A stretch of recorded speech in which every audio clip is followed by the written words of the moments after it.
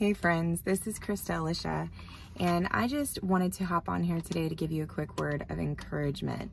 You know, uh, it seems like the atmosphere around this time of year before Halloween is like super thick with crazy warfare, and the Lord just wants to bless you and encourage you today. And so today, um, I, well, not just today, but for a while now, I have been meditating on the armor of God uh, that's mentioned in Ephesians. And specifically, uh, I went into a vision, and in the vision, I had on, I could see specifically the helmet of truth, and I could see the breastplate of righteousness, and I had the sword of the Spirit in my hand. And those were the three pieces of armor that were really highlighted to me in this vision. Um, and I was standing on a dragon that I had just defeated. And uh, I asked the Lord, why was it that I was wearing the breastplate of righteousness? What exactly did the breastplate mean prophetically? And why is it that we needed it? And why is it the breastplate of righteousness? Well, righteousness really just means to be in right standing with God. It also means to have the same morals, character, and values as God because you are in right standing with Him, that He is Lord over your life, and you are under subjection to His ways and His rules, right? And that is because that's how we were created to live. And it's a good thing. It is, it is to be of the utmost, um, integrity in our moral standards. It means standing for the right thing, standing for justice and for goodness and um and and for holiness, right? And and hating evil. So obviously we need that, but I was like, Lord, well, why is it over my chest? Why do we have to have the breastplate of righteousness? And the father spoke to me and he said, well, it's to protect your heart from lies. And I said, what do you mean to protect my heart from lies? And he said, Christa, I have placed memory inside the heart of every individual. And I was thinking about it and I know that other times when I have meditated on the helmet of truth, that the helmet of truth actually protects our thoughts and our minds from lies from the enemy. And it made total sense to me when a, a soldier is in battle, you know, and you're, uh, people are firing bows and arrows at you. The breastplate is what would protect your heart and your vital organs in your chest. And I said, well, Lord, why do I need to protect my heart uh, and the memories of my heart? And he said, because Christa, when you know uh, that you are in right standing with me, then it doesn't matter where you stand before men. And I was just flooded with this wave of emotion because, you know, if you have ever experienced spiritual warfare, a lot of time the spiritual warfare that we experience, it doesn't come from, you know, the atmosphere around us. It actually comes from the people that are around us. Or it'll come from the enemy planting things inside of our heads or inside of our hearts.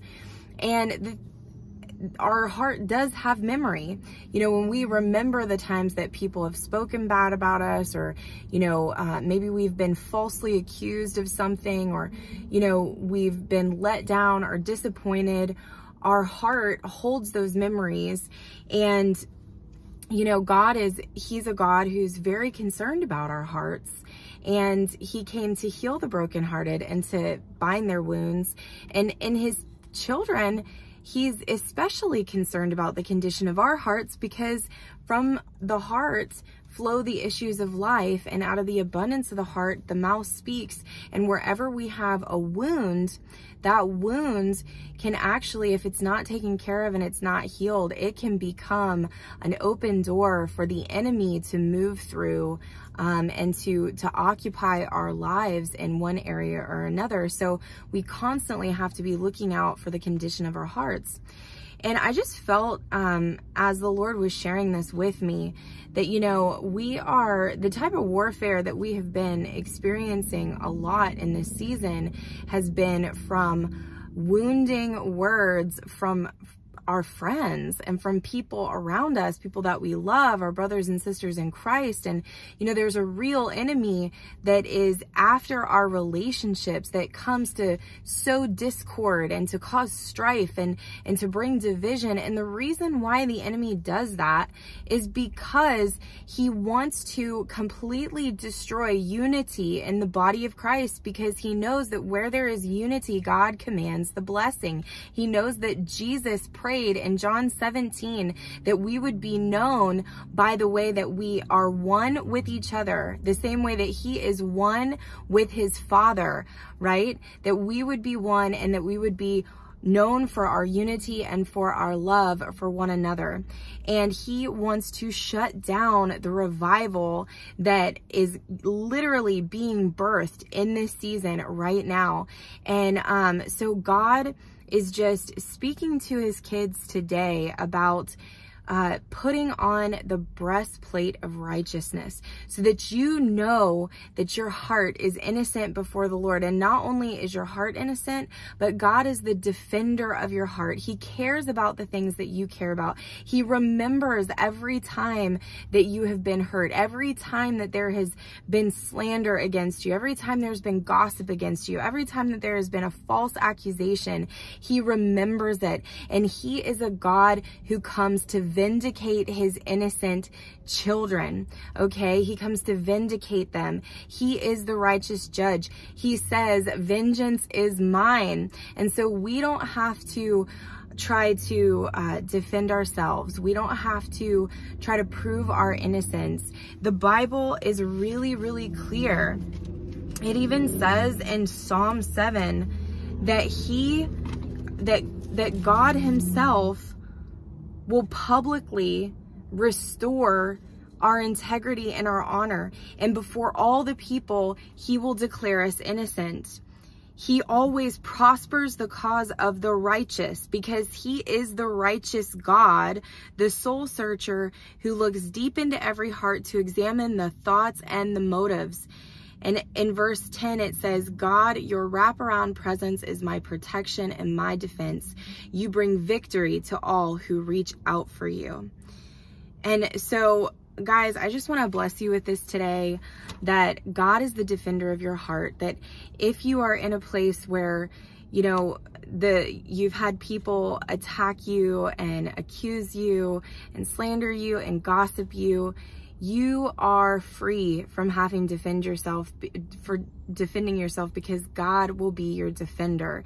He will vindicate you and he will publicly prove your innocence before all the people and um just lean into him, lean into the truth of who he says you are in this season and know that um each day uh, he is fighting your battles for you. He deems you innocent through the precious blood of Jesus.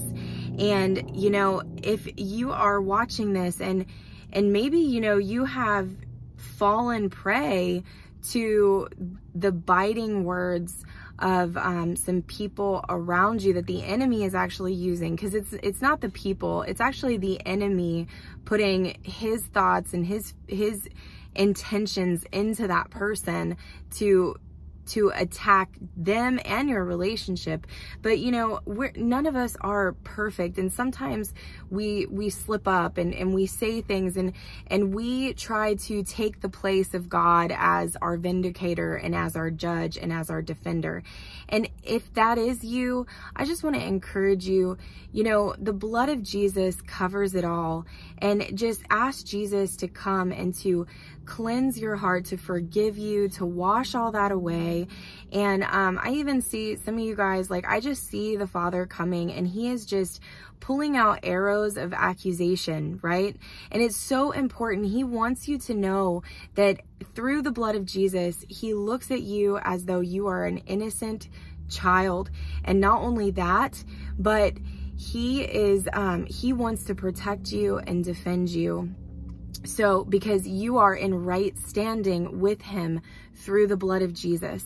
And so I just pray, guys, that uh, as you watch this, that you would take what I'm saying, that you would take the word of God and his encouragement to heart, that um, he loves you, that he is going to protect your heart from lies, that he came to heal the brokenhearted and to bind our wounds. Amen.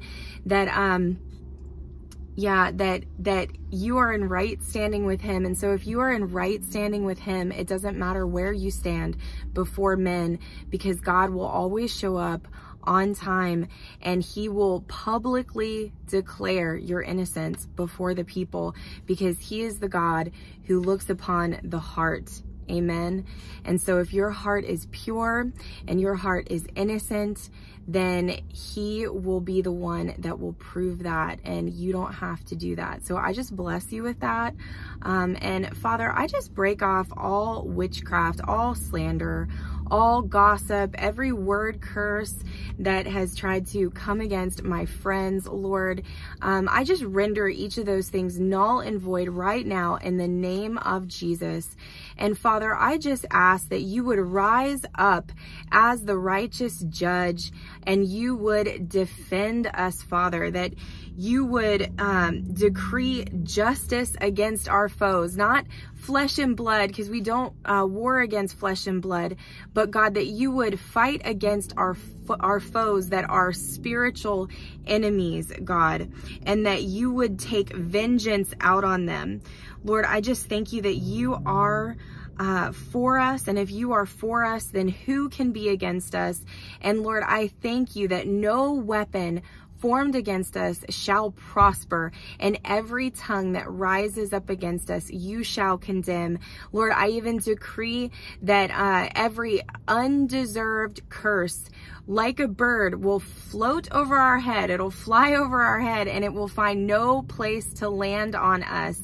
That we have been redeemed from the curse, from the by the precious blood of Jesus.